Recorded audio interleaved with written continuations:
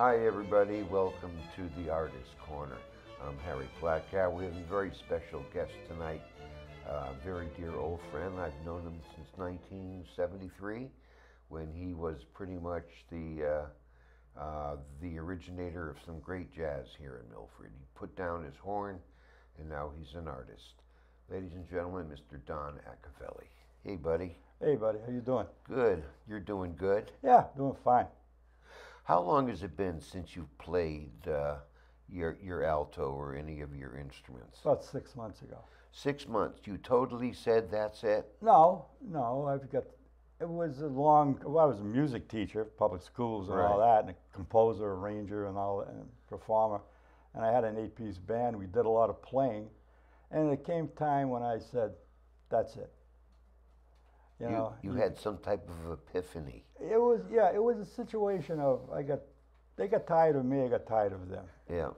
you know, and we did a lot of work, did a lot of playing, and it was like a mutual, okay. Yeah. And then I then I was still playing with uh, a big band, and I got disinterested with that because it was the same old jive every Wednesday I night, hear. I hear you. and that was it. So I just said, I'm just going to start uh, painting instead of doing this. But I've been painting since about 1990. Uh huh. Yeah, where uh, I, I took a course in fine arts. And it was a certification course while I was teaching school. And when you graduated from this course, it was a summer course. And when you graduated, you got a fine arts degree. Hmm. And at the time, uh, actually, a fine arts certificate. And at the time, they wanted to combine art teachers and music teachers to one person called a fine art person Okay. in, in that school, which was actually cutting budgetary Yeah. stuff. So it wasn't too popular. But the thing I liked about it was when I went to the when I went to the to the, to the college, which was up in Fitchburg State, it was a pretty decent school for what we did Yeah. all musicians became artists, and all artists became musicians. Wow. And so I, for the summer, I was just painting and drawing and you know, doing all that stuff, learning things. You know, it was like 724. You did it all the time. When you were in college, or were you when you were getting the certification, were you exposed to folk art? Wh- When did that No. come Okay. about for you? Folk art's a different story. What had happened to me one day, I was driving through Framingham. I was always been a lover of folk art. Okay, I try to find as many books as I can buy that shows folk, folk art. The the portraits of these people, you know, that are no longer with us, and, and it's, a lot of people would call them silly because it's they're self-taught artists that draw this.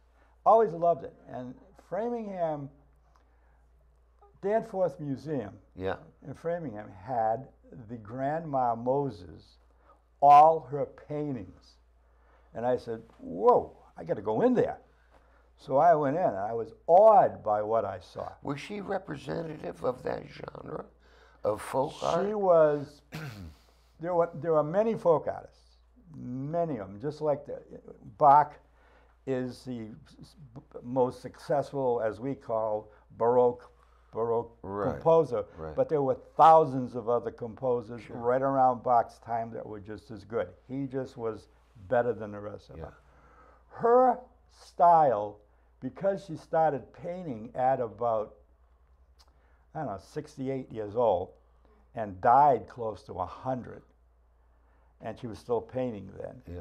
And her images were colorful, and you have you had to see them, you know. And she became very successful, where Harry Harry Truman called her the, the artist laureate of, Oh, the, of the United States.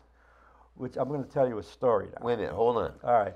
Because we want to see your pieces as well. Uh, Now, I'm influenced. I'm influenced a lot by her great great grandson, who I know, Oh, okay. yeah, Will Moses. Jerry, bring up the first one, man.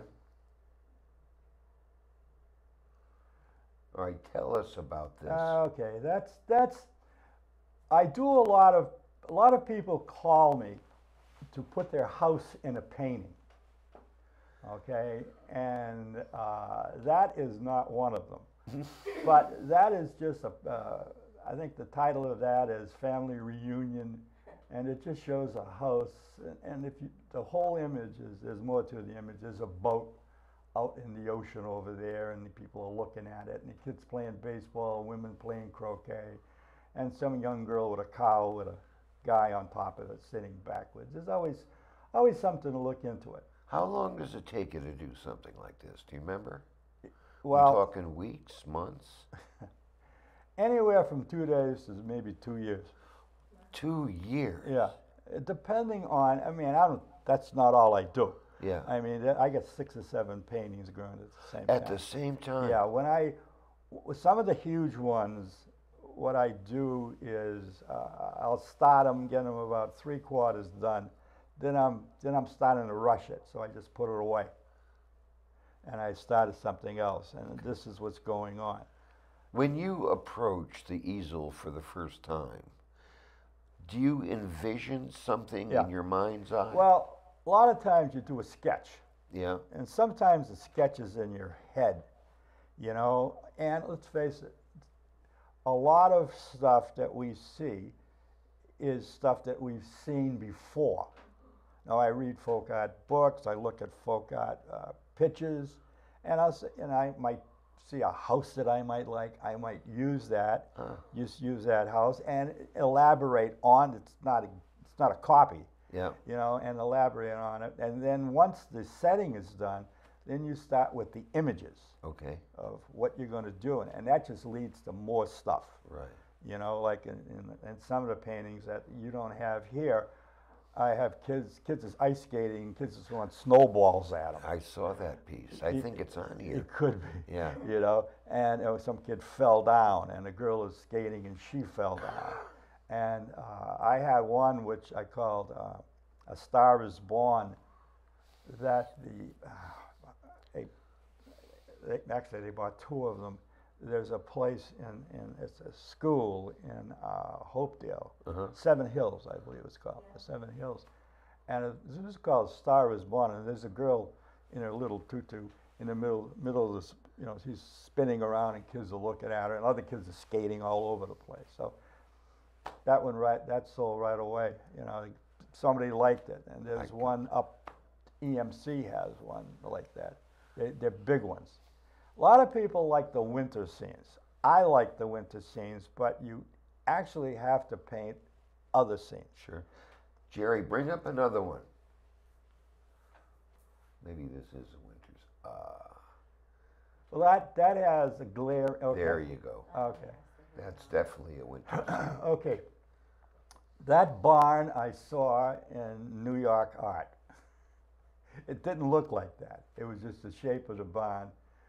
And uh, it was just an old gray photograph of a barn and another barn in front of it. So I just changed the whole setting. And I put a couple of, you know, birds up there with the owl and the kids.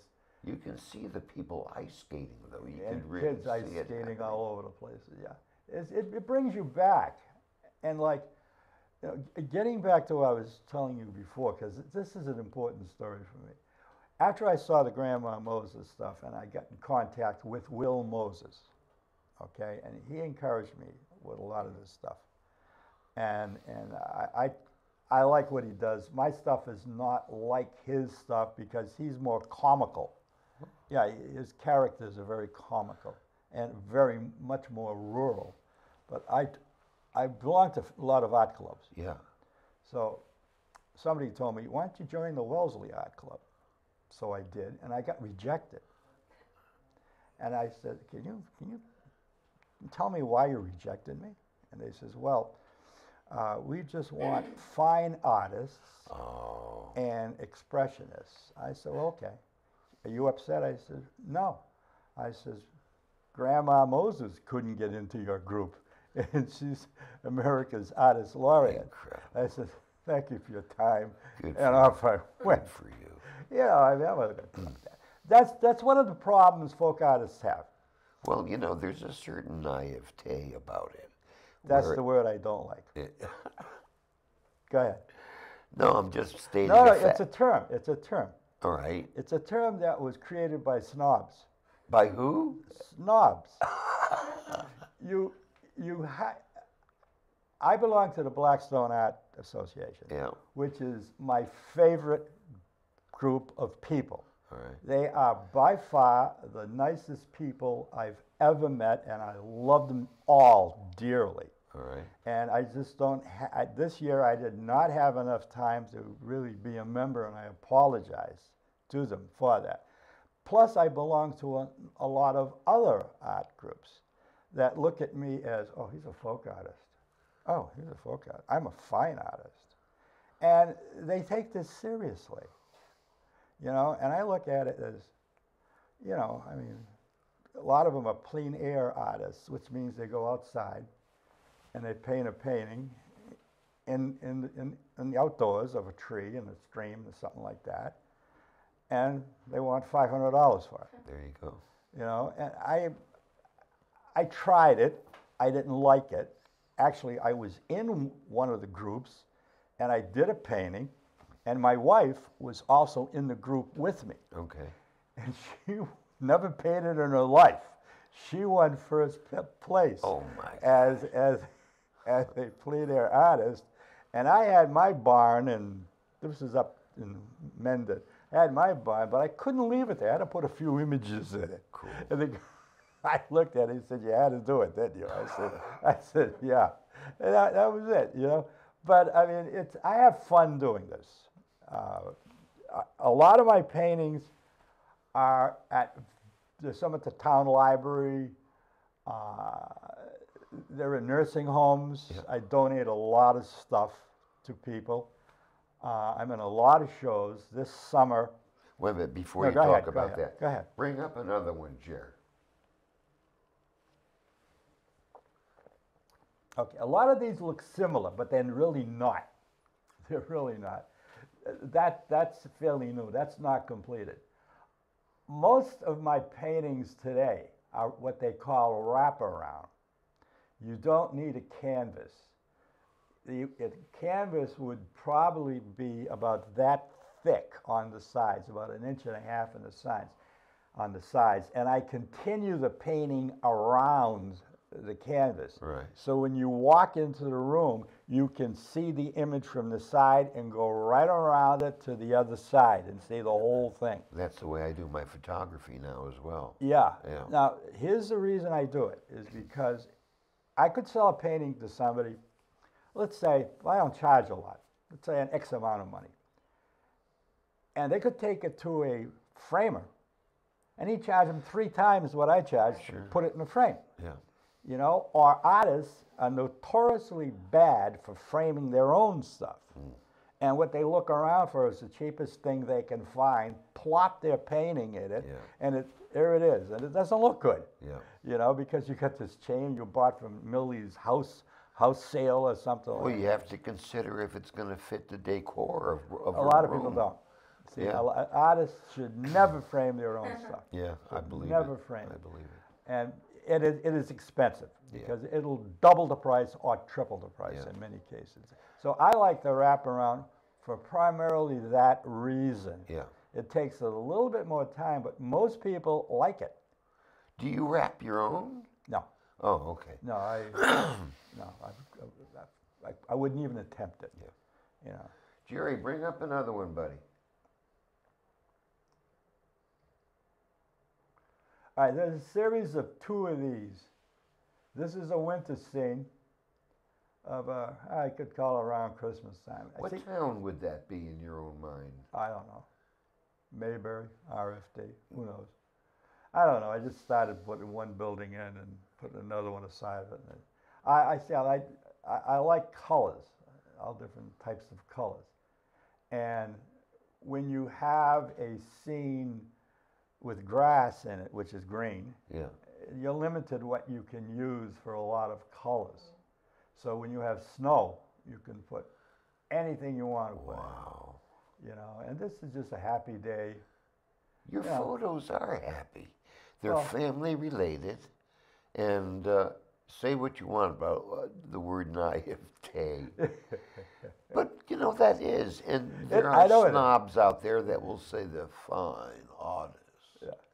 But you express yourself beautifully, and, and let me ask you, uh, what's Moses' first name? Oh, Grandma Wi- Will. Oh, gra- Grandma Moses. No, her grandson. What was Oh, Will Moses. Is he one of the major exponents in folk art? We talk about that. We've talked about that. Who?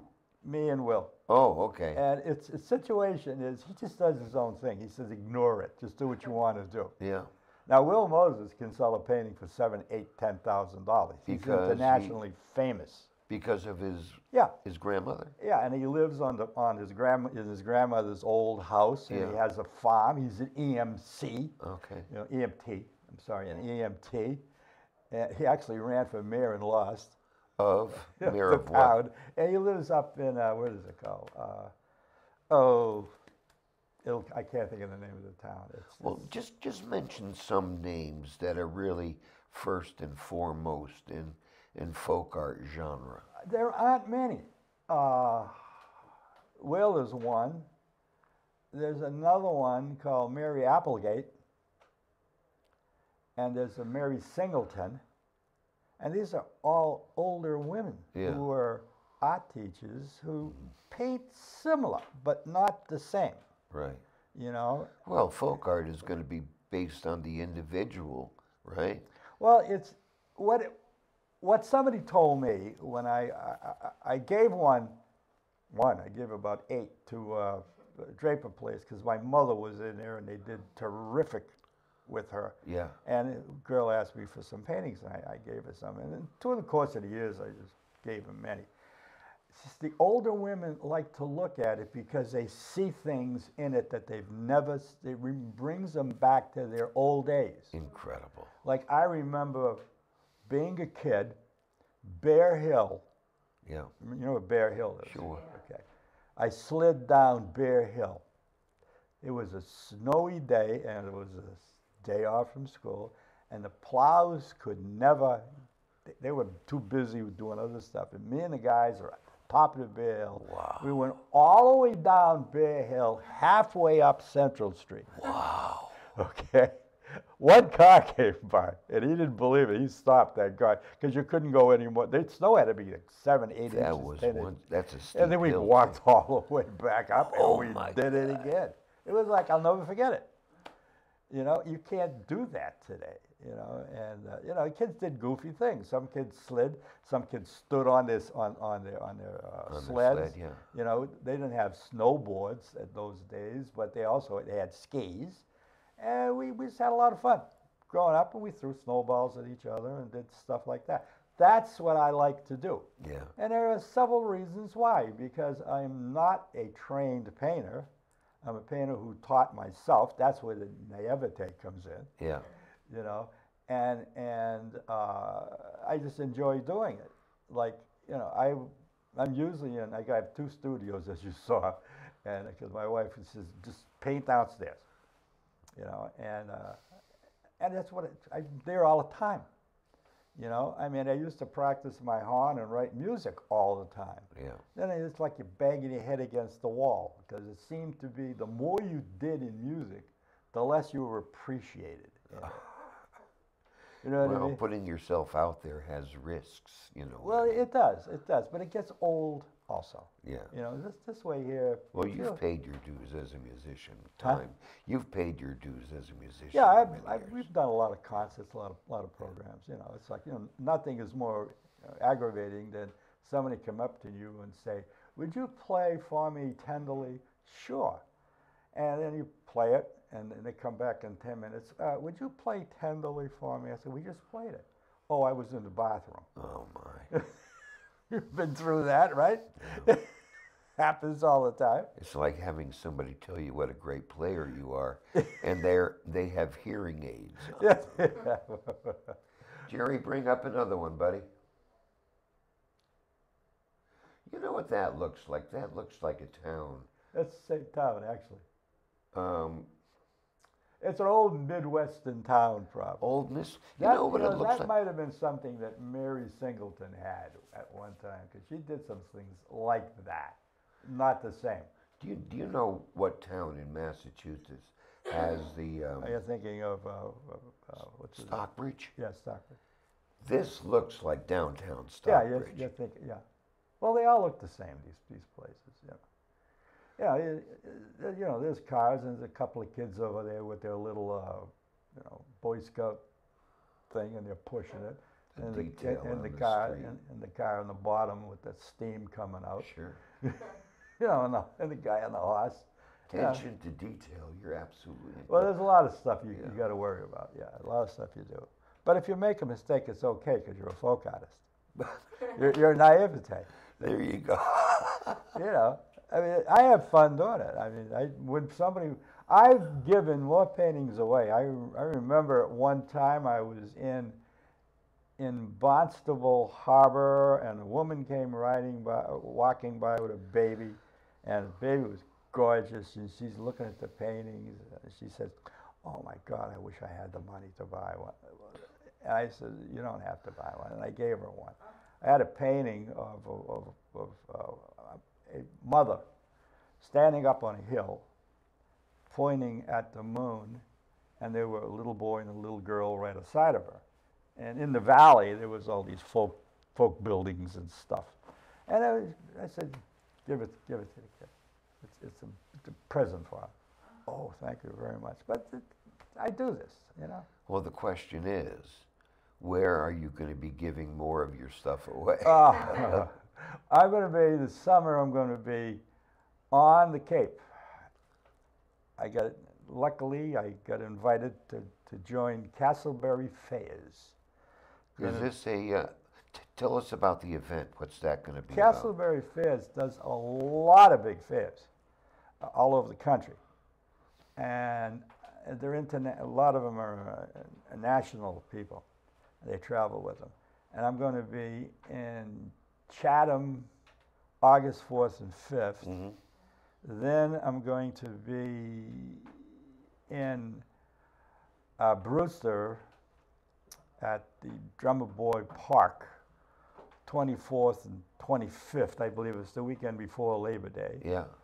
And then two weeks after that, I'm going to be at the uh, Sudbury Inn for another group that I joined, uh, Joyce Endy. She's another person that does uh, national shows. How much time do we have left? Do you know? Five minutes? Okay, all right. We got five minutes. Yeah, and then I'll be at Hopedale. I'm doing a lot of paintings I'm doing now. Uh, people have contacted me to put their house in a painting. Yeah.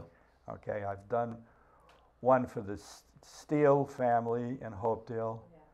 I've done one for, uh, what's his name? Um, Paul Serpine, Oh, yeah. you know. And uh, I've done one for my daughter, of course. Which one did you do for Paul Serpine? It's his house. Oh, on, On- Cha- on Chaplin Street. Yeah, in it's a Chaplin neat house. You know, it's, it's on a hill. Yeah. He lives on the bottom of the hill. I, I use the hill as, as a uh, Focal point. focal point, and kids are driving, is sliding down and doing all kinds of goofy Oh, I things. would And love his house is in the bottom, and he's in the backyard playing with the, with the orchestra, and he's conducting the Oh, orchestra my in the backyard. It's a huge painting. Wow. Know, well, Paul's a friend. He's, he does wonderful things. Uh, Hopedale ye indeed. you know, so, so he, he's, he's been a good friend of mine. And I'm going to be at Hopedale. But I mean, if, you know, if people want their pitches, just contact me. Yeah. Should we put your email address up on the screen? Uh, if, if you want to, I, I don't care. It's, uh, well, at least they'll know how to reach you. well, it's a capital D, small case O N I A C O V E L L I at six. Don Iacovelli six at gmail.com. The number six, not Number SI. six. Number Yeah. six Okay. at All right. gmail.com. We will get that. We will put that And, on well, the I'm in the phone book, you know. I mean, phone book. Nobody's well, in I'm, the I'm actually book. doing a painting now for a guy in Saudi Arabia. How did that come about? I grew. He grew up in Concord. He lived near the Louisa May Alcott house, and he Yeah. loved it. And he works for the embassy out there. So he contacted. I saw him up in Sudbury, and he he bought two paintings in Sudbury, and he contacted me. He says, "Do you want- could you do one the Louisa May Alcott house?" And I said, "You have a house too?" He says, "Well, I'm in Arabia right now." He says, "He says." I said, "I'll put one in," and we we. He, he's got a wife and, and three kids. and- Did you put a camel in the photo? no, no, he wants it because he's going to be done with that, I think, in, in a while. Right. And he's going to pick it up in Concord, you know, when, uh, when I'm up there. Cool. That's on September 4th, I think, you know. We've been talking with Don Iacovelli, folk artist extraordinaire here in the town of Bilgewater, Massachusetts. Thank you, Don. It's been a pleasure. Ah, it's fun. It's always, well. always been fun. Thanks, man.